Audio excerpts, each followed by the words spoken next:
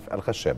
مساء الخير يا كابتن شريف. أهلا بحضرتك وسعداء بوجودك معانا النهارده. أهلا بيك يا محمد. تحياتي ليك وكل سنة وأنتم طيبين جميعا وسعيد إن أنا أكون معاك ويا رب دايما كده في ازدهار وبتمتع وأنا بتفرج عليك دايما. آه يعني ربنا يخليك دي شهادة أعتز بيها وتسعدنا بوجودك معانا على شاشة الله يا يخليك. الله يخليك. آه آخر التكريمات كانت حسب معرفتنا كمان من حضرتك وتابعنا أخبارك كانت في الدوري العماني في سلطنة عمان. آه. حصلت على أفضل مدرب في الدوري العماني. مظبوط. أنا خدت أنا قعدت في عمان حوالي ثلاث سنين مسكت نادي مسقط موسمين ونادي الخابورة موسم. وكانوا الاثنين في بداية آه، صعودهم لدوري المحترفين. ونجحنا إن إحنا نعمل مركز متقدم جدا. خابورة وصلنا نهائي كأس السلطنة. آه، وصلنا مركز رابع في دوري المحترفين. الدوري صعد النادي صعد لسه. مسقط نفس الحكاية كان لسه صاعد. وأول موسم قعدناه في الدوري كان آه، متزايل الجدول لما رحت وبعدين آه، الموسم اللي بعده نافسنا ومشينا كويس الحمد لله. يعني كانت تجربة مميزة والحمد لله يعني عملنا سمعة المدرب المصري هناك كويس الحمد لله. آه، راضي عن حصيلة خبراتك وتجاربك يا كابتن شريف خارج مصر سواء مع تشاد مع المنتخب أو في الدوريات الأردنية والعمانية؟ والله الحمد لله أنا راضي جدا لأن. أنا عندي معتقد خاص كده وأعتقد إن أي حد بيحاول يرفع من شأنه أو اسم بلده بيحاول يجتهد فأنا دايما بحاول أجتهد وب... وعندي معتقد داخلي إن لما تجتهد لازم التوفيق يصاحبك ممكن في الأول تتأثر شوية وبتاع إنما النتيجة في النهاية إن أنت بتنجح نتيجة إن أنت بتبذل مجهود عالي وبتجتهد. الحمد لله أنا اشتغلت في السعودية في نادي الأنصار آه، موسم اشتغلت في الأردن موسمين اشتغلت في عمان ثلاث مواسم مسكت منتخب تشاد موسمين غير الأندية اللي في في مصر اشتغلت فيها آه، يمكن فترة من ساعة قيام الثورة 25 يناير لحد النهارده دي خدتها كلها سفر خارجي لفيت لفة كبيرة كده ورجعت أتمنى بإذن الله إن يكون في نشوفك استقرار. قريب في آه، تجربه إن مميزة شاء في الله يكون في شاء. استقرار في القاهرة طيب بخبراتك الكبيرة سواء المحلية أو الدولية في عالم التدريب يا كابتن شريف الخبر الرئيسي اللي بدأنا به هذه الحلقة النهارده هو إعلان النادي الأهلي رسميا لنجاح إجراءات التعاقد والانتهاء من التعاقد لانتقال صفوف النجم المصري حسين الشحات من العين الإماراتي إلى النادي الأهلي آه، تقييمك للصفقة اولا هي صفقة بكل المقاييس طبعا صفقة ناجحة جدا وكلنا متابعين وشايفين حسين عامل إيه في الإمارات ووصل مع العين الإماراتي لنهائي كأس العالم. لعيب مميز جدا مفيد جدا سواء لمنتخب مصر أو للنادي الأهلي. آه، أو لأي فريق بيشترك فيه بيبقى ورقة رابحة مميز. إنما أنا بس عايز أشير لنقطة مهمة جدا يعني بعيد عن الانتماء لأي نادي أنا بتكلم نقطة فنية بس. عايز أقول إن في اتعلمنا ودرسنا في التدريب إن أنت لما بتشتغل فنيا وبتوصل لطب قمة الهرم طبيعي جدا الكيرف بينزل تاني. ده ده حاجة بديهية معروف جدا. ع- معروفة عالميا. ده يعني ما فيش في العالم فرقة تفضل على القمة على طول لازم الكيرف بينزل بس هي الشطارة ان أنزل وأطلع تاني إزاي دي نمرة واحد نمرة اتنين لما نيجي نتكلم فنيا لازم نبعد أي أهواء شخصية بعيدة عن الفنيات بمعنى بمعنى إن أنا بكره محمد الجندي فمحمد الجندي يقول أحلى كلام في الدنيا هو بالنسبة لي مقبول. غلط. هو غير أنا قافل. دماغي إنه غير مقبول فلما يجي نادي أو مجلس إدارة أنا آه، مش قابله أو أنا ضده ويجي يعمل حاجة صح مش نفسي مش جايباني إن أنا أقول إنه صح. وبالتالي لما بيجي النادي الأهلي في آه، صفقات كتير حصل إن, إن نتيجة في دروب أعمار السنيه بدأت تكبر في النادي الأهلي بعض اللعيبة. آه، كان دكة البدلاء ناقصها عناصر كتير مش على الدكة في الملعب. وخد بالك من شروط الفرقة البطلة أو الحصول على بطولة إن يكون عندك دكة قوية. فلما يحصل drop في إصابات كتيرة ويحصل drop في إيه إن لعيبه آه، كتير بدأت آه، تبقى out of form نتيجة الإجهاد الزيادة لأن النادي الأهلي من أكتر الأندية اللي لعبت مباريات الموسم ده. وبالتالي بيحصل drop في المستوى وخصوصا للعيبة كبار السن. ويؤثر على الدكة وبالتالي لأن كمان البديل مش على نفس ما- مستوى اللاعب الأساسي. البديل. فده اللي بدأ النادي الأهلي آه يشتغل يعني عليه لا. وبدأت أنت تل- تلاحظ إيه؟ إن رقم واحد مصاب ورقم اتنين بيلعب رقم ثلاثة على الدكة. واخد بالك؟ وبالتالي بقت الدكة مش بقوة ال- ال- الفرقة اللي هي تحقق بطولة. ده طبيعي كل اللي أنا بقوله عليه طبيعي. فلما تيجي تتعاقد مع مدرب جديد وتتعاقد مع لعيبة جداد الطبيعي في الفنيات بدون بقى الانتماء لأي شخص معين إن أنت يحصل لسه تجانس مع المدرب واللاعبين تجانس مع اللعيبة الجداد واللعيبة القدام وتخش فورمة الكلام ده بياخد منك وقت ويحصل خلال المرحلة دي إن يحصل فيه دروب في بعض في النتائج. حساباتك كمدير فني كابتن شريف الكلام ده يستغرق تقريبا كحد أدنى كام أسبوع مع الفريق اللي عنده خبرات زي النادي الأهلي إنه يوصل لحالة مرضية من التجانس والأداء في الملعب مش أقل من أربع خمس ماتشات. بس ما تجيش تقول أربع خمس ماتشات في 10 أيام. لا أربع خمس ماتشات بمعنى أقصد شهرين. شهرين يحصل تجانس عشان فكر المدرب يتنقل صح للاعبين عشان اللعيبة تقدر تحفظ بعض جوه الملعب ويحصل التجانس آه إنما في هنا نقطة نحط تحتها خطين حمر كده. مع الفرق العادية تاخد شهرين ثلاثة مع فرقه بمواصفات النادي الأهلي بإصرار وجمهور النادي الأهلي. وأنا بعيب هنا نقطة إن لازم أنا متعود من جمهور النادي الأهلي لازم يستند لآخر لحظة. ما يستعجلش ويصبر لأن هو بيشجع فرقة بطلة وفرقه عارفة. ما حضرتك شايف كمان النادي الأهلي فاقد ميزته دي طول الوقت؟ النهارده كل مباراة كل مباراة مهمة بنلاقي قبلها قررت لجنة المسابقات المباراة دي تقام من غير جمهور. وده- وده من أقوى المميزات اللي عند النادي الأهلي والداعمة له في الملعب والمؤثرة على أداء لاعبيه مش كده. بس وأكبر مثال على كلامك محمد. ماتشات وسامعين صدى الصوت في الملعب. كأنه تمرين يعني آه، وده. الأندية اللي اتعودت النجوم اللي اتعودوا يلعبوا قدام جمهورهم.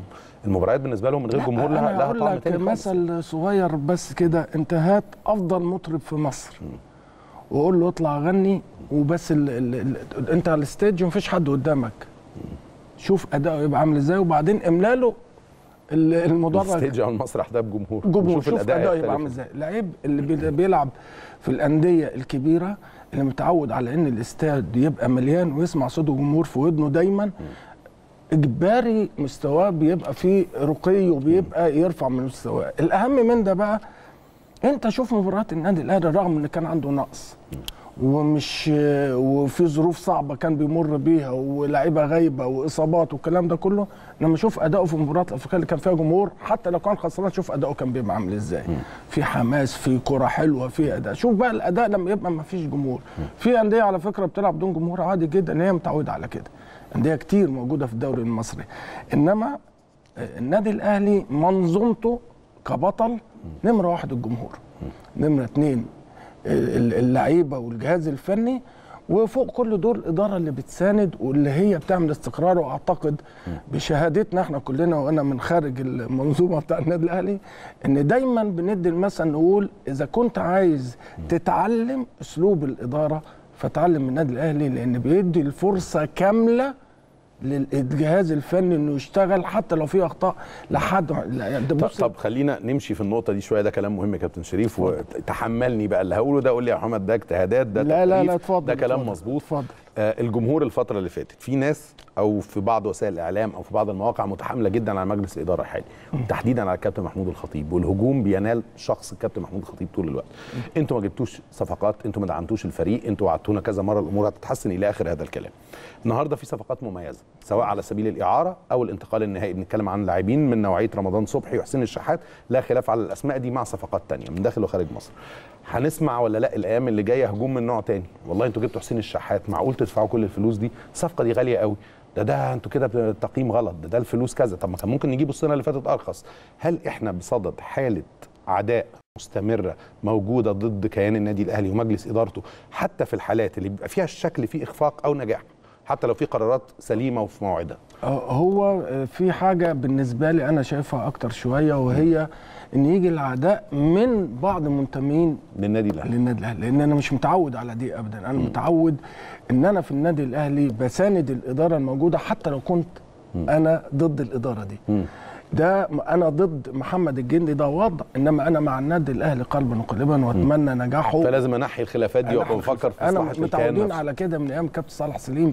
من وأنا الأمر ده اتغير. من وأنا لسه في المنتخب وكنا بنيجي نعمل معسكراتنا وتدريباتنا في النادي الأهلي.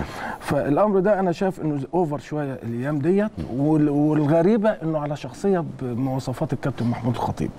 يعني إذا كنت عايز تتعلم الالتزام والأخلاق والمبادئ والكلام ده وإحنا لعيبة كنا نبص للكابتن الخطيب هو زي ما وإحنا بنلعب هو قدامنا في الملعب فكابتن خطيب- خطيب مثل يحتذى به فأعتقد إذا كان أنت على خلاف سواء بسبب انتخابات أو لاغراض شخصية وبتاع خليك على خلاف معاه بعيد عن المنظومة نفسها لأن أنت وبحثك عن الأفضل للنادي الأهلي أيوة نفسه أيوه أو تصحيح خل- مساره يعني. أيوه فأنت خليك الأول إيد بإيد لتصحيح المسار عشان ننجح كنادي وبعدين انت صف خلافاتك بره. ده موضوع تاني. أو لما تجي لك فرصة انزل انتخابات وانجح ده موضوع تاني. انما أنا عايز أقول ال- اللي أنا بشوفه غلط. يعني مثلا اديك مثال مباراة بيراميدز. في رمضان صبحي من افضل اللعيبة الموجودين في المباراة في مباراة من الصفقات اللي لسه جاية للنادي الأهلي. ما حدش يختلف إنه صفقة ناجحة وناجحة بامتياز. إنما اللي كاره هيجي يقول لك إيه إيه ده؟ في لعيب جايبين له إعارة مش عارف بكام ومش عارف هيخش في حاجات غير فنية. طب لو جبت أنت لعيب رخيص وظهر بمستوى قليل يقول لك إيه ده ما يا عمي ما أنت جايب- مش جايب صفقات سوبر صفقة انت جايب سوبر لاعب عادي؟ أنت ليه جايب رمضان ف- ست شهور ودافع أيوة. المبلغ ده يعني دايما في في سبب. حبيبك يت... يبلع لك الزلط. يبلع لك الزلط وعدوك يتمنى لك الغلط ف... طيب أنا عايز أحط نفسي مكان الجمهور شوية إحنا بنسمع رأي الجمهور وبنقول لهم إن النادي الأهلي دايما ما عندوش أعذار ولا مبررات في حالة الإخفاق أو الهزيمة ومش بيبخس حق المنافس بس- كمان بس هنا في- ولكن إحنا عايزين نتكلم عن هل دايما يا كابتن شريف يعني اسمح لي أكمل سؤالي لحضرتك. هل الأمور دايما لما فريق كبير بحجم النادي الأهلي يخسر لازم الهجوم يروح لمجلس الإدارة ولا أحيانا بيبقى في أسباب. تانية فنية زي ما حضرتك قلت التجانس. هل اللاعبين المميزين دول اللي حضرتك بتتكلم عنهم بذلوا أقصى جهد ولا لا؟ ولا لسه عندهم أكتر من كده؟ هل تحلوا بسمات النادي الأهلي في المباراة دي وكان عندهم الروح القتالية وكانوا فايترز على كل كورة في 90 دقيقة ولا لا؟ هل كان عندهم الحافز؟ هل شفنا شكل الضغط النادي الأهلي؟ أما بيبقى متأخر بهدف قدام حد بيروح للمرمى كام مرة وبيحط المنافس في, في, في منطقة جزائه. إحنا في حاجات كتير فنية لازم الجمهور كمان يحطها في في حساباته. عوامل كتير جدا منها اللي أنا قلت عليها التجانس منها آه، استيعاب اللعيب للموقف وارتداء فانيلا جديده لسه عليه آه، منها آه، الجهاز الفني حافظ اللعيبة صح وعارف التغييرات إيه وإمتى المفتاح اللعب اللي يزقه وي- ويوقفه إمتى إمتى شكل الفرق اللي بيلعبها لسه ممكن يكون شافها في حياته مرة ولا اتنين لسه كمدير فني. كل ده بياخد وقت. آه الأهم من ده كمان يعني صفقة زي حسين الشحات ممكن وارد جدا وهو من أفضل اللعيبة أهو وتجيبه في أول مباراة يكون لسه مش موفق لسه ما اتجانسش فهتيجي تقول بقى ده, ده صفقة فاشلة ولعيب مش وحش لا فأنت في في بديهيات. ليه عملنا فترة إعداد قبل الموسم؟ لأن انت بيبقى عندك هيكل تيم وبتجيب اضافات فليه سابوا فترة معينة للفرق تعمل استبدال تعمل آه، تغيير في في اللاعبين في الأجهزة الفنية واداك على الأقل شهرين المفروض بتعمل فيهم إعداد بدني وفني وتكتيكي وتدخل كل الفنيات اللي انت عايزها وبتعمل تجانس بين اللعيبة وبعض. عشان لما تيجي تبتدي الدوري ما تحصلش الدروبات اللي هتحصل في المباريات الودية اللي انت هتبدأ تكتشفها. تخيل ان انت الحاجات دي هتحصل وانت شغال في مباريات رسمية. فالطبيعي ان يحصل دروب واثنين وثلاثة. الاهم ان أنا عملت في النهاية فرقة هتنافس وتجيب بطولات ولا لا. هي دي النقطة. ولازم اعتقد نفرق بين كمان آه، يعني مجموعتين من الآراء. الآراء اللي هي بانيه أمورها كلها على صراعات شخصية مع المجلس الحالي فهتنتقد طول الوقت زي ما حضرتك قلت. دول خارج حساباتنا تماما. مفروض. واللي بيحب النادي الأهلي وغيور عليه فنقده موضوعي. يعني بيقول يا جماعة أنتوا وعدتونا أكتر من مرة وإحنا زعلانين أما الأهلي بيخرج من أكتر من بطولة أو بيتعرض لسلسلة هزائم ده مش مرضي بالنسبة لنا. دول الجماهير المحبة للنادي اللي بتقول إحنا عايزين الأفضل. إحنا مظبوط. عايزين شكل فريق يبقى أفضل نتائجه أفضل. آه اتصرفوا بقى أنتوا المسؤولين عن الكيان ده فنيا واداريا وماليا وتنظيميا اتصرفوا حلوا لنا المشكلة دي. ده رأيي فيه محبة للنادي الأهلي في مظبوط. على الفريق آه آه ما بس أنا عايز مقبول يعني. عايز هنا أنوه وده دور ال ال ال المحبين للنادي الأهلي والمش متعصبين لأن في فرق بين واحد محب ومتعصب فمش شايف حاجة غير المكسب ومش قابل أي أعذار وفي واحد محب وعارف المنظومة والدنيا ماشية إزاي وبالتالي المحب اللي أنا بتكلم عليه اللي يوعي اللي هو متعصب أقول له لازم نهدى لازم نصبر على النادي النادي بيغير جلده. الفرقة دلوقتي في مرحلة تجهيز وإعادة بناء عشان ترجع بالقوة اللي هي تجيب خمس ست بطولات في الموسم تاني اللي هي تقعد ثلاث أربع خمس سنين راكبة ال- ال- تكسب البطولات سواء تكسب البطولات. سواء محلية أو دولية. هو النادي الأهلي متعود كده إن بيعمل فرقة تاخد لها خمس ست سنين راكبة وبعدين يحصل دروب في سنه حاجة ويطلع تاني. وتبدأ مرحلة تجديد تاني مرحلة. وتعديل. فأنت ما تتخيلش إن أنت هتعيد بناء فرقة في يوم وليلة. ما تتخيلش إن أنت هتعمل تجديدات في يوم وليلة. ما تتخيلش إن أنت عندك كم إصابات وسوء توفيق غير عادي النادي في مراكز كتير جدا. حتى اللي بيرجع أحمد فتحي لسه راجع تبص تلاقيه طلع تاني. فأنت آه، كل ظروف المباراة دي بس وإصابة لأحمد الشيخ وإصابة آه. لازارو يعني بتكمل بثلاث أربع لعيبة أيوة، بيرجعوا لك يعني بتفقد ثلاث أربع لعيبة يعني. هنا آه لازم تقول الصبر والهدوء لدرجة الناس بقت بتسأل في الموضوع طول الوقت وحضرتك عارف بيقولوا يا جماعة إيه إيه كمية الإصابات اللي في النادي الأهلي آه، دي؟ يعني بيقولوا ده عدم توفيق.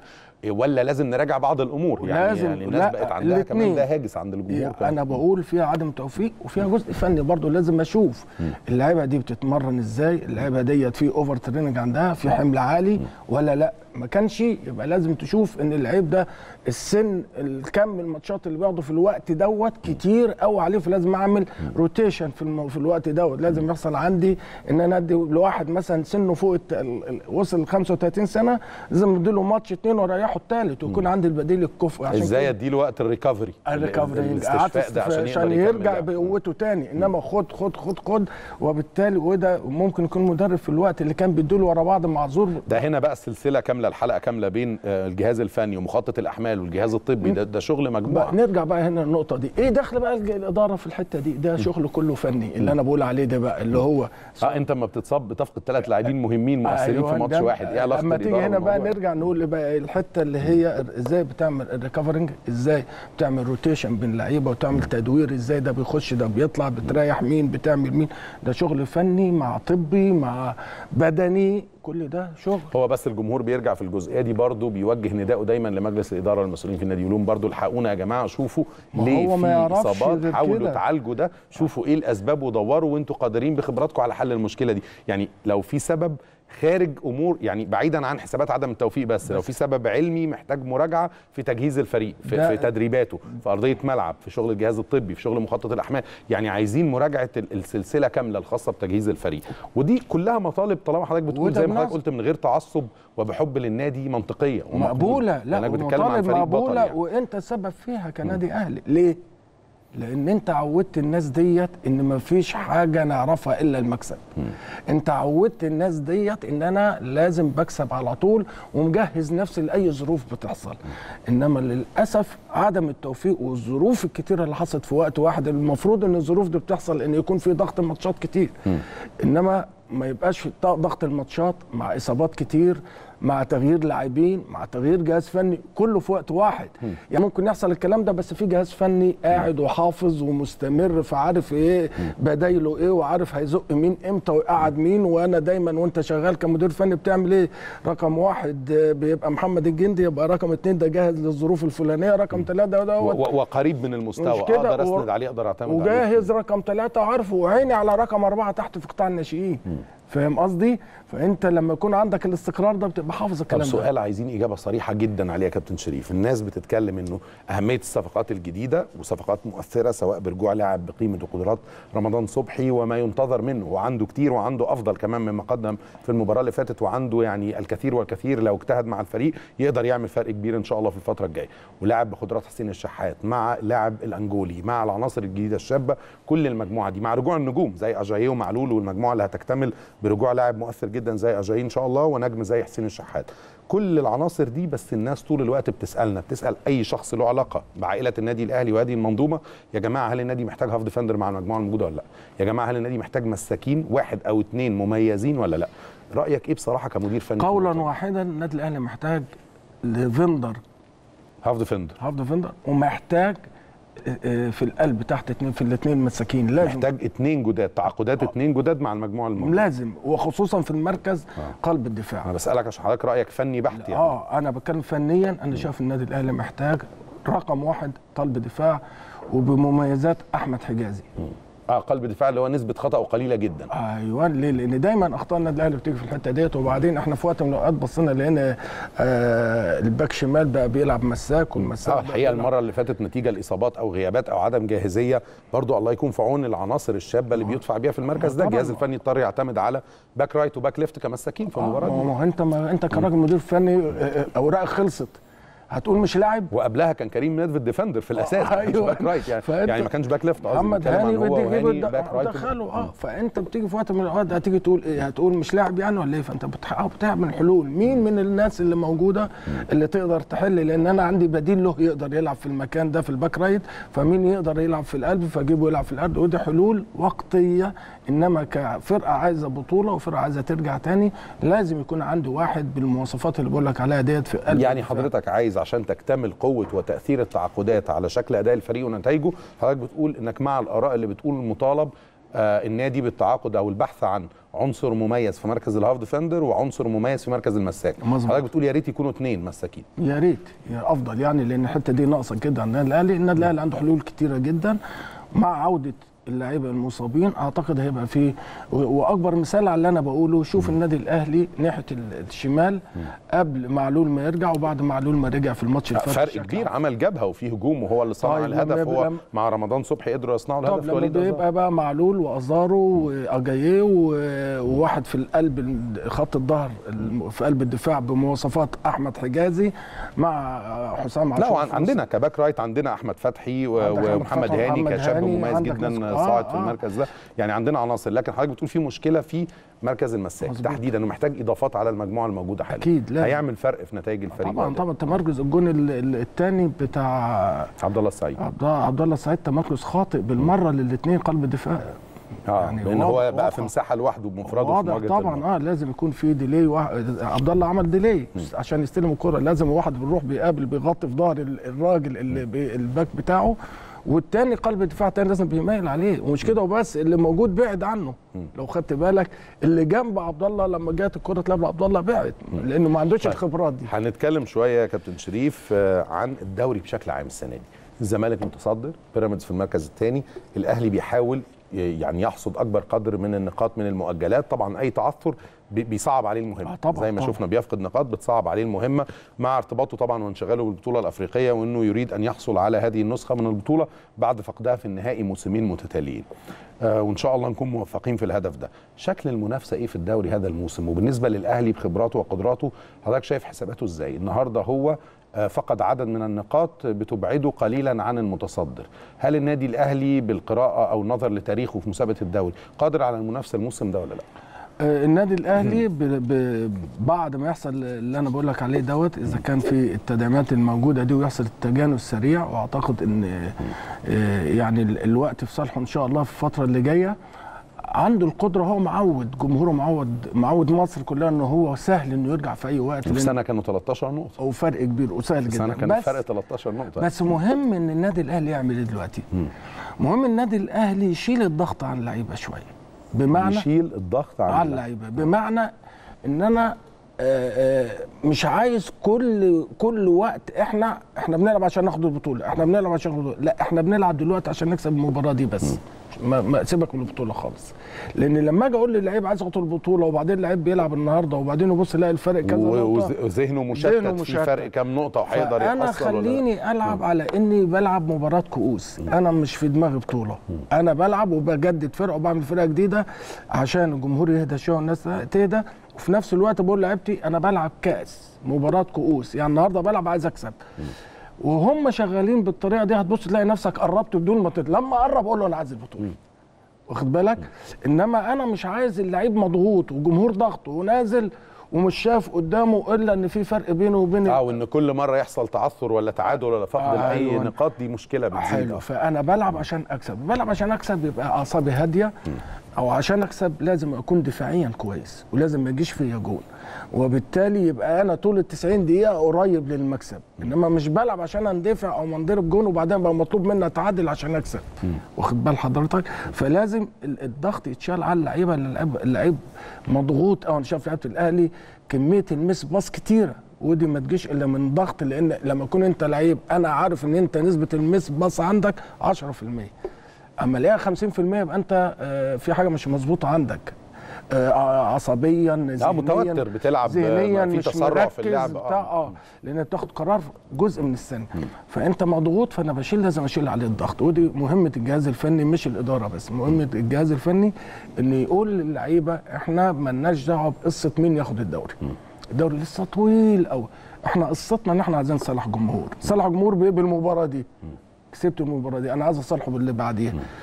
وانسى إن الأهلي كسب ماتشين ثلاثة ورا بعض انسى انه يرجع آه وصل لحالة التجانس والفريق. خد الثقة آه. هو هيلاقي نفسه بي بي بيقرب أكتر من المنافسة على اللعيب. نفسه هيرفض إنه يفقد نقطة بعد كده وبالتالي آه هيبقى في حافز تاني عند اللاعبين لو آه يقول قربوا. لك لا لا انت هتيجي تقول له إحنا عايزين يقول لك لا لا لا إحنا عايزين البطولة. هو اللعيب نفسه. يعني الجمهور نفسه بس عشان ما حدش يقول لنا أنتوا بتشبهوا الدوري المصري بالدوري الانجليزي لا إحنا عارفين فارق المستويات وفارق الاسعار والمبالغ المالية واللياقة والمستوى الفني والسرعات والجماهيرية وكل شيء. بس إحنا بنقول انها مقارنة بين ناديين من نفس المسابقة. النهارده مان سيتي في مباراته الأخيرة مع ليفربول بيلعب المباراة دي وهو بطل الدوري في الموسم الماضي وليفربول. متفوق جدا ونجمنا محمد صلاح الفريق ونجمنا محمد صلاح في أفضل حالاتهم. وبيلعب مباراة بياخدها بفارق سبع نقاط ممكن. يبقى 10 نقاط في حالة فوز ليفربول وبيلعب وبيكسب. يعني قصدي إن المنافسة بالنسبة له ما انتهتش. لا، لا، وإحنا ما تاني. بنكرر مش بنقارن الدوري المصري بالدوري الإنجليزي بنقارن بين حال فريقين في نفس المسابقة. أنا بأكد لك إن جوارديولا هو بيقول للاعيبته ما بيقولوش أنا بقول لهمش إحنا عايزين ناخد البطولة. بيقول لهم إحنا بطولتنا إن إحنا نكسب المباراة دي. هو هو. بيقلص الفارق إحنا بطولتنا النهارده. وشوف فرق.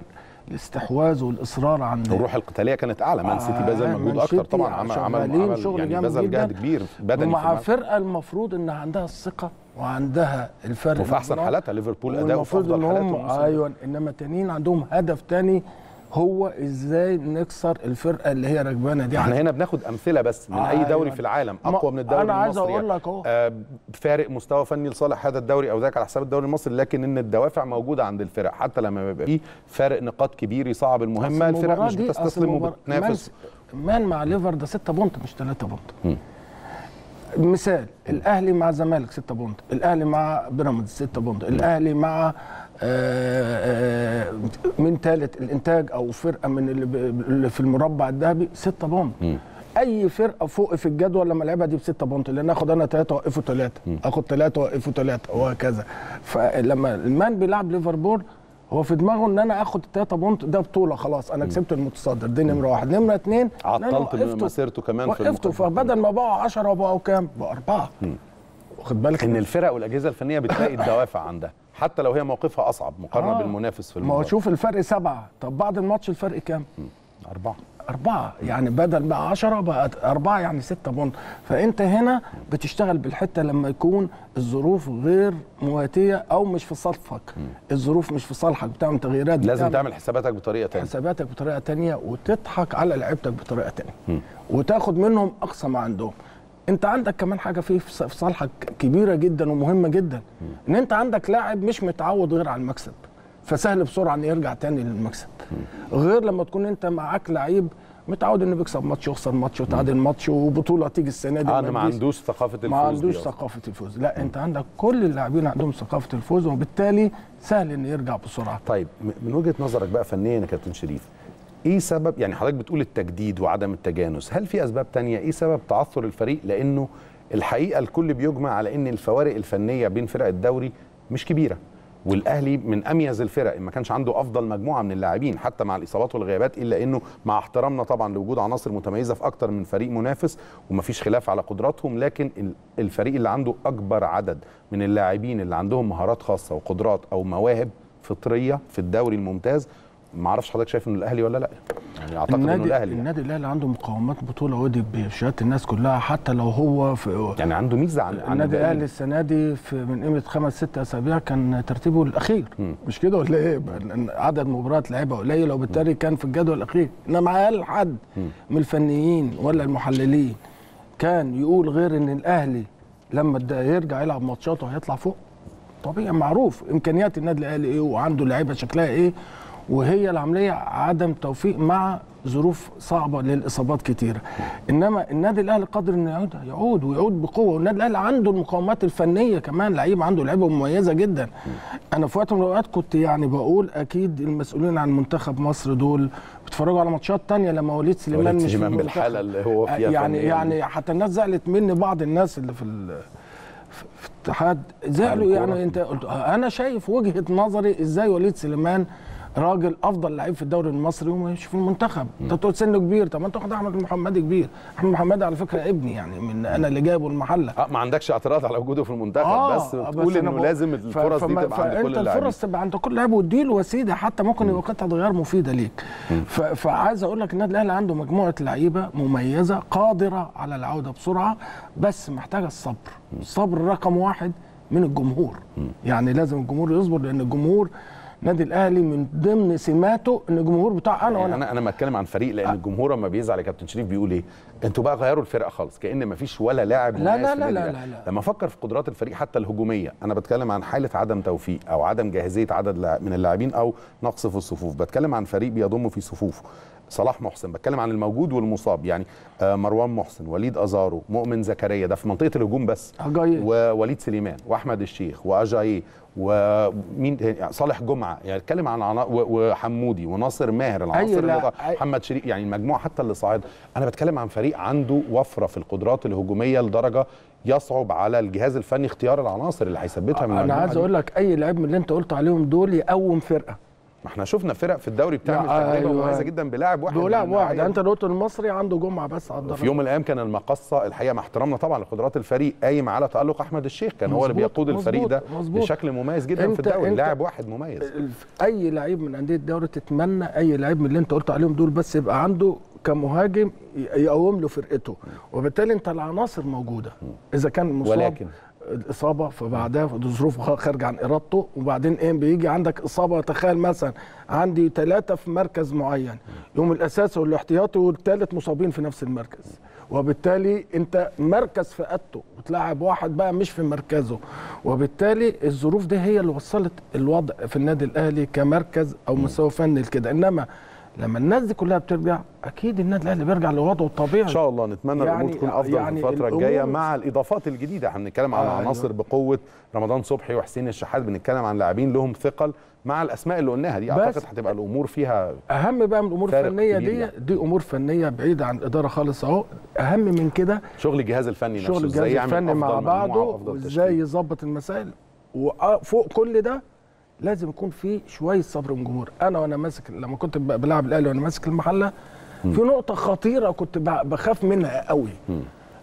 لو أنا كسبان النادي الأهلي يعني أنا متعود إن أنا ماسك أي فرقة وخسران الجمهور خلاص قاعد ساكت إن ما كانش بيه- بيهاجم. خلاص؟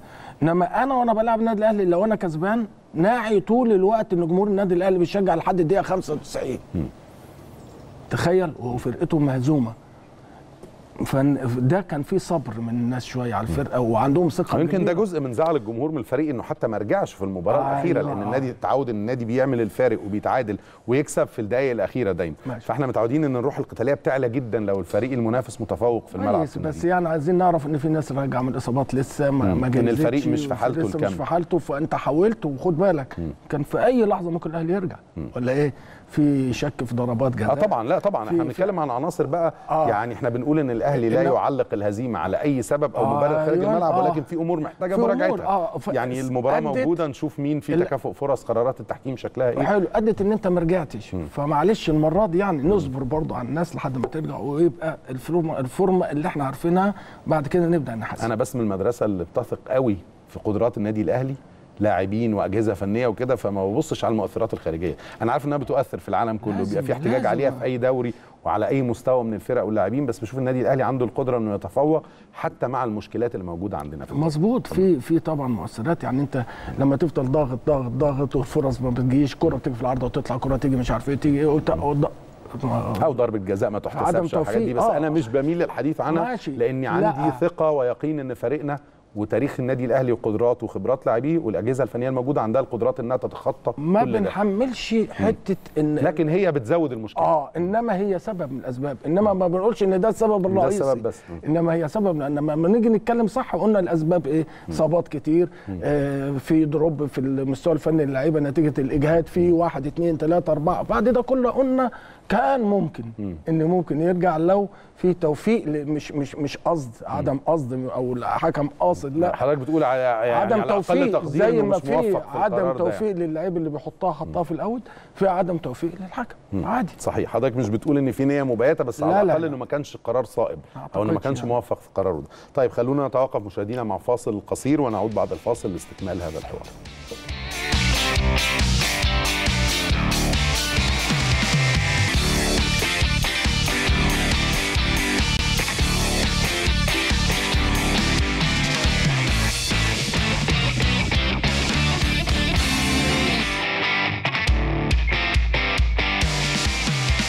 أهلا بحضراتكم مرة ثانية لسه معاكم من خلال الأهلي الليلة ونجدد الترحيب بضيفنا في الاستوديو الكابتن شريف الخشاب. أهلا بيك مرة ثانية يا أهلا. بيك يا محمد. آه، عندنا بس بعض النقاط المتعلقة بالأمرين. آه، قضية انتقال آه، لاعب النادي الأهلي السابق عبد الله السعيد إلى نادي بيراميدز في الدوري المصري وأيضا بعض الأمور والبيانات اللي بتحتاج إلى إيضاح وتوضيحها للسادة المشاهدين عن علاقة النادي الأهلي بشقيقه العين الإماراتي ونجاح أيضا الصفقة الخاصة بانتقال اللاعب حسين الشحات أو النجم طبعا حسين الشحات إلى صفوف النادي الأهلي المصري.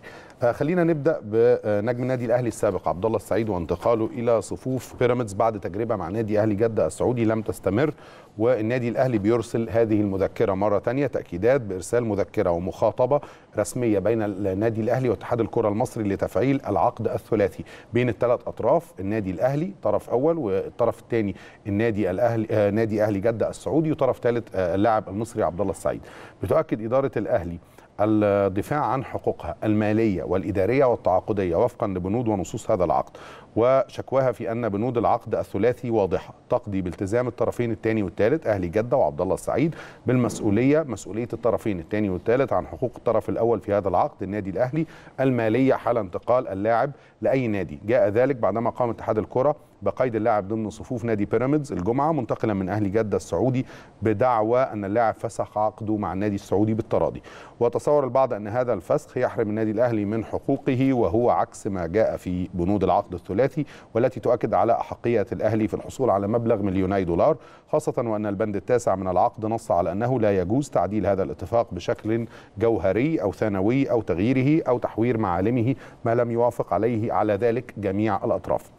وفي هذا الجانب لدينا ثلاث نقاط واضحة ومحددة النادي الأهلي هنا بيعلن موقفه الواضح بعد المشاورة مع الخبراء القانونيين في النادي الأهلي وبعد مشاورة الكوادر الموجودة في هذه اللجنة المختصة بمتابعة هذا الأمر بقيادة رئيس مجلس الإدارة الكابتن محمود الخطيب.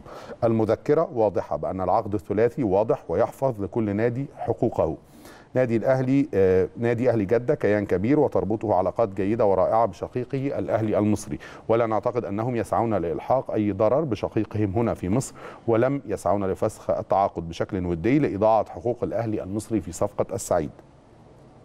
عبد الله السعيد آه كلاعب طبعا سابق ونجم سابق في المنتخب الوطني في صفوف النادي الأهلي وحقق نجاحات كبيرة في فترات سابقة مع النادي الأهلي هناك تأكيدات من النادي على إنه لا يمكن أن ينكر آه النجم المصري عبد الله السعيد فضل النادي الأهلي عليه والنجاح المشترك اللي تم بتجربتهم معا اللاعب في صفوف النادي الأهلي والنجاح اللي تحقق آه مع مجموعة من اللاعبين والإنجازات اللي تمت في الفترة اللي فاتت عندما كان السعيد بيرتدي فانيله النادي الأهلي وضمن صفوف نجوم هذا الفريق الكبير. لا يمكن أن ينكر فضل النادي الأهلي عليه ولن يكون يوما سببا في إضاعة حق النادي الأهلي الذي لمع بين صفوفه حتى وصل إلى المنتخب الوطني. دي بعض الاجتهادات لينا كفريق عمل بنناقش الأمر بنقول إن أكيد الأمور هتاخد مجراها القانوني السليم. أنا ما أقدرش أتكلم عن هذا الأمر إلا وأنا أمامي كل البيانات الصادرة ولكن بنثق طبعا في الرؤية الخاصة باللجنة المختصة بهذا الأمر وما نصت عليه البنود الخاصة بهذا العقد. آه النادي الأهلي بيقول إن هنا البند الصريح اللي بينفي فكرة أو حديث البعض عن إمكانية فسخ التعاقد بالتراضي وإن ده يضيع حقوق النادي الأهلي إنه لا يجوز تعديل هذا الاتفاق بشكل جوهري أو ثانوي أو تغييره أو تحوير معالمه ما لم يوافق عليه جميع الأطراف اللي هم الأطراف الثلاثة الأهلي المصري وأهلي جدة السعودي واللاعب عبد الله السعيد طرف ثالث في هذا العقد وطبعا الأمور دي هتحسم عن طريق الجهات المختصة والقانونية والمخاطبات اللي هتتم بين الأهلي المصري ونظيره السعودي.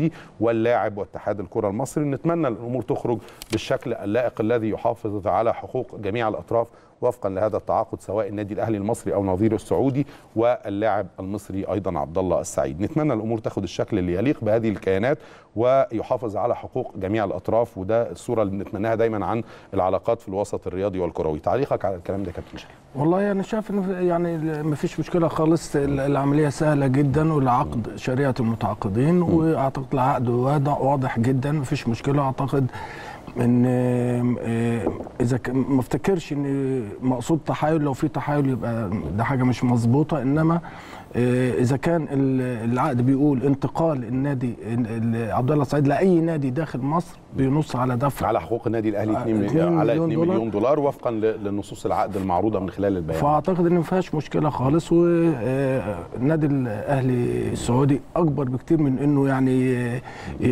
يحط نفسه في موقف زي ده وهو أعتقد لا والنادي الأهلي كمان بي يعني على يقين نعتقد كلنا إن النادي الأهلي وإدارته على ثقة بإنه قيادات نادي أهلي جدة السعودي أيوة. بتراعي طبعا الأمور الاحترافية والعلاقات أيوة. والأمور التعاقدية والحقوق دي زي ما النادي الأهلي في حرصه على التعاون مع أي نادي آخر وده هنأتي إليه بعد قليل. نموذج انتقال حسين الشحات لمصر. و... بيبقى حريص على كل الأطراف ومصالح وعلاقات الناديين أكبر بكتير من بند زي دوت. يعني م. أعتقد إن الموضوع ما يستاهلش ان النادي بحجم أهلي جد أهلي جدة أو النادي الأهلي علاقاتهم تسوق ببند صغير زي ده. أعتقد إن سهل جدا إنه يتحل بان كل واحد ياخد حقه. والعملية سهلة جدا. وأنا وأنا طبعا لن أفتي في الأمر أنا مش قانوني. أنا هنا بمثل النادي الأهلي وجهة نظره وجماهيره وإدارته والحفاظ على حقوقه المالية والتعاقدية ولا أستطيع أن أجزم هنا إلا بعد استشارة أكثر من خبير قانوني عندنا بس الرؤية اللي بنثق فيها لمجلس الإدارة واللجنة المختصة بالحفاظ على والدفاع عن حقوق الأهلي المالية وما فيها من كوادر مع الكابتن الخطيب كمان من الإدارة أو من الكوادر القانونية في النادي وهم الأقدر على شرح الأمر إن نص العقد كاملا مش قدامنا دلوقتي وإحنا مش قانونيين. بس فما أقدرش أقول إذا كان في ثغرة قانونية ولا لا لكن أثق في رؤية النادي الأهلي إنه لا يسمح بانتقال اللاعب دون حصول النادي الأهلي على حقوقه وفقا لما اعلنه النادي الأهلي في مخاطبته لاتحاد الكورة تحت أي بند من البنود ما أعتقدش والأيام طبعا هتحسم. ما أعتقدش النادي الأهلي يخطو خطوة زي دي ويبدأ إلا وهو على يقين إن بنوده التعاقديه سليمة أيوة. يعني. النادي الاهلي أعتقد من من معرفتي بإدارة النادي الأهلي إن لو في شك 1% ما كانش فعل ما كانش طرح أو طلب بتفعيل العقد. فأنا عندي ثقة كبيرة إن طالما طرحوا الموضوع يبقى هم هم أصحاب حقوق في هذا التعاقد. يعني إن شاء الله هذا الأمر ينتهي بالشكل اللي يحافظ على حقوق النادي الأهلي وعلى كمان العلاقات بين الأندية العربية الشقيقة آه وعلى العلاقات مع اللاعبين في علاقاتهم التعاقدية مع أي نادي وانتقالهم من نادي إلى آخر سواء داخل أو خارج مصر. ده طبعا اللي يليق بكل الأطراف المعنية أو اللي بيضمها أو مذكورة ضمن بنود هذا العقد طبعا الضخم. هننتقل أو مرة تانية بنبقى مع الحقوق التعاقدية للأندية وعلاقاتها كابتن شريف. في شكر موجه من مجلس إدارة النادي الأهلي إلى نظيره مجلس إدارة نادي العين الإماراتي. نعتقد إنه هيكون الرأي العام بيصف الفترة اللي فاتت كان في حديث في فترة سابقة محاولة تعاقد الأندية المنافسة كانت بتسعى للتعاقد في الوقت ده مع كل من نجمي النادي الأهلي وقت وجوده في الفريق. أحمد فتحي طبعا حاليا لسه معانا كنجم من نجوم الفريق وعبد الله السعيد في هذا الوقت. وأطلق عليها صفقة القرن. آه. وانتقل عبد الله السعيد وكان في جدل كبير جدا وصولا إلى خروجه إلى الدوري السعودي ثم عودته إلى نادي بيراميدز. آه النادي الأهلي أعتقد إن جماهيره في الفترة اللي فاتت لا حديث لها عن صفقة القرن بالمعنى اللي هيرضي الجماهير ويقنعهم إلا مع انتقال حسين الشحات للنادي الأهلي. مظبوط. هي دي الصفقة اللي هتبقى مرضية جدا للجمهور لأنه شايف إن هو اللي هيكون موجود في المركز ده وهو اللي هيضبط إيقاع الفريق ويقدر بلغة الكورة يشغل كل النجوم الموجودين حواليه في الملعب بالشكل الأفضل. حضرتك قلت إنها صفقة فنيا مهمة جدا. جدا. البيان ده بيضم شكر النادي الأهلي وتقديره للتعاون من الجانب الإماراتي ومن مجلس إدارة نادي العين الإماراتي بقيادة السيد غانم الهاجري رئيس نادي العين الإماراتي في ضوء العلاقات الطيبة التي تربط بين الناديين الشقيقين.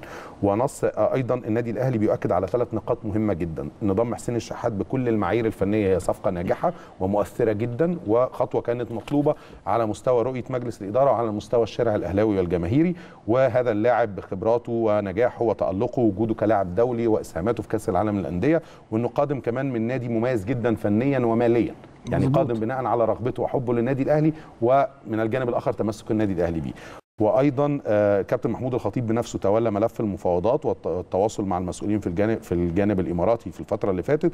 توجيه الشكر على التعاون والترحيب برغبة النادي الأهلي ورغبة اللاعب رغم تمسك النادي الإماراتي بنجمه لوجوده معاهم في الفترة الجاية وكانوا مش راغبين في انتقاله لأي نادي آخر لكن استجابوا لرغبة اللاعب ورغبة النادي الأهلي.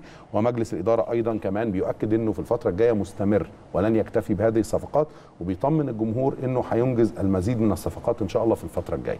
رأي حضرتك إيه في في النقاط دي؟ أتمنى تكون الصفقات الجاية في المركز اللي أنا قلت عليه فدي تدي قوة النادي الأهلي دي نمرة واحد. نمرة اتنين آه لازم هنا نحيي آه رئيس آه، مجلس إدارة النادي العين آه، الإماراتي لأن آه مهم جدا في الاحتراف إن أنت لما يكون عندك لعيب مؤثر بحجم حسين الشحات والدنيا كلها بتتكلم عليه وانت مش محتاج ماديا فلوس وبالتالي بتسيبه بسهولة ويمشي ده ده, ده, ده حاجة مش طبيعية ليه؟ لأن دي آه ترجع لأن الناس دي رياضية ومخها رياضي فوق الوصف بمعنى إن لما يكون رغبة اللاعب عدم الاستمرار يبقى الأفضل ليا إن أنا أسيبه يروح يلعب في حتة مرتاح فيها نفسيا أفضل ما أقعده وأقول لأ مش هبيعه وأنا مش محتاج فلوس ويلعب عندي غصب عنه. فدي تحسب للنادي العين الإماراتي إنه فضل رغبة اللاعب وفضل إن آه، اللعيب يلعب عنده يكون عايز يلعب عنده. مش العملية مادية بس لأن كلنا عارفين إن النادي العين الإماراتي مش مستني الفلوس عشان عايز يبيع حسين الشحات. وبالتالي ده نجاح لمجلس إدارة النادي الأهلي انه أقنع نادي العين بصفقة كبيرة زي دي في في في في, في وقت هو متوهج هناك وهو عامل إنجاز كبير هناك فإنه يقنع إدارة مجلس إدارة نادي العين إنه يسيب آه، حسين الشحات. ده نجاح كبير لمجلس إدارة النادي الأهلي وفي نفس الوقت آه، تحيي عليه حسين الشحات ان هو أبدى رغبته صراحة وهو في موجود في نادي تاني إنه يتمنى اللعب للنادي الأهلي. فهي بكل المقاييس بنوجه التحية لمجلس إدارة نادي العين وبنشكر مجلس إدارة النادي الأهلي إنه نجح في صفقة كبيرة زي ديت. مع العلم في أندية بتعمل ضجة كبيرة ودوشة ودوشة وبتاع وبعدين الصفقة تطلع في الهواء بحترم جدا مجلس إدارة النادي الأهلي ودايما بقول أنا يعني يا ريت الأندية كلها بتتعلم إن صمت صمت صمت وما بيحصلش إعلان إلا لما الأمور فينش انتهت بنسبة 100% أنا طبعا يعني بنتمنى الأمور تسير للأفضل في الفترة الجاية على يقين إن النادي كمان أهلي جدة بالتأكيد هيبقى على حريص جدا على علاقته بالأهلي المصري وإنه لو في تاكيد أو دور للنادي الأهلي السعودي أو أهلي جدة في تفعيل بنود هذا العقد والإدلاء برأيه القانوني في هذا الأمر وما يتعلق بحصول النادي الاهلي على هذه المستحقات المالية. أكيد لن يتأخر لحظة واحدة. ما أعرفش موقف طبعا آه، اللاعب المصري عبد الله السعيد إيه لأنه ما بين فكرة وجوده في هذا الكيان لفترة سابقة فتسهيل مهمة الأهلي في الحصول على حقوقه أو البعض الآخر اللي هينظر إن اللاعب خرج غير راضي بعد مرحلة التفاوض اللي لم تكتمل ولم تكلل بالنجاح باستمراره مع النادي الأهلي بسبب خلافات على بعض الأمور المالية أو رغبات اللاعب أو القيمة المالية قد يكون مبالغ فيها في الوقت ده أو من عدمه يعني فما أعرفش موقفه إيه ولكن هذه الصورة اللي قلنا بنتمناها بس. لكن لسه طبعا موقف اللاعب لم يحسم والأمر ها آه، يتم رفع هذا الأمر إلى الاتحاد المصري والإدارات القانونية اللي هتتحدث طبعا مع الاتحاد السعودي نظير الاتحاد السعودي ومع نادي أهلي جده السعودي للحديث وحسم هذا الأمر. نتمنى طبعا إنه وفقا للعقد. يكون في حقوق تسترد للنادي الأهلي أعتقد إن عبد الله. آه، من الذكاء وداخليا لو أنا دخلت جواه بيتهيألي إن هو ما ينساش ابدا فضل النادي الأهلي عليه وما ينساش إن هو آه، اشتغل في منظومة شاركت المنظومة دي في رفع اسمه عبد الله بشكل كبير زي ما هو شارك في في في نجاحات في نجاحات كبيرة والعلاقة للأهلي. كانت من الطرفين و- طبعا. وأعتقد إن هو لحد ما يبطل كوره هيفضل يعتز بإنه كان بفترة وجوده في النادي في فترة- نتمنى نتمنى يكون. ده أفضل أو نتمنى تكون دي الروح الغالبة على تفكير اللاعب أو النجم المصري عبد الله السعيد حتى رغم أي فترة فيها توترات سابقة آه، لأنه بالتأكيد طبعا آه، كانت فترة فيها نجاح مشترك للنادي الأهلي وللاعب ومن أميز الفترات اللي قضاها كلاعب محترف مش بنبخسه حقه هو كمان ساهم في نجاحات كبيرة في فترة وجوده في النادي. الأهلي القرار هيكون له وطبعا الأمر سيحسم من خلال طبعا البنود القانونية وليس حسب الأهواء والنادي الأهلي زي ما حضرتك قلت دايما لا يتحرك إلا وهو على يقين من صحة موقفه القانوني في أي ملف من الملفات تعودنا. على كده أسعدتنا بوجودك معانا يا كابتن شريف. وإن شاء الله يتكرر اللقاء ده ونتمنى آه، نلتقي بيك مرة تانية وتكون مؤشرات النتائج أفضل وتقول لنا كمان آه، انعكاس النتائج والصفقات الجديدة وسياسات مجلس الإدارة الحالي من أجل تطوير قطاع الكرة في النادي وانعكاسها على الفريق والأداء والنتائج محليا ودوليا إن شاء الله أنا اللي اتشرفت بوجودي معاك يا محمد وسعيد جدا إن أنا موجود في قناة محترمة زي قناة النادي الأهلي وإن شاء الله على ثقة كبيرة آه إن توفيق النادي الأهلي جاي إن شاء الله وناقصه بس التوفيق وعودة اللاعبين وبإذن الله الدوري المصري يحلو وبيحلو لما تكون منافسة قوية في وجود النادي الأهلي. وإن شاء الله إن شاء الله الأمور. تكون أفضل وتكون مرضية للجميع الجماهير وأعضاء النادي ومجلس الإدارة وكل محبي النادي الأهلي ومتابعي القناة وتكون المؤشرات أفضل ان شاء الله على كافة المستويات. الأداء والنتائج إن شاء الله. شكرا يا محمد. بشكرك شكرا جزيلا لحضرتك. كابتن شريف الخشاب المدرب المصري صاحب التجارب المتميزة داخل وخارج مصر في عالم كرة القدم. أه بشكر حضرتك كابتن شريف. نهاية هذا الحوار مشاهدينا ولكن ابقوا معنا. فقراتنا مستمرة من خلال الأهلي ليلة فاصل ونعود.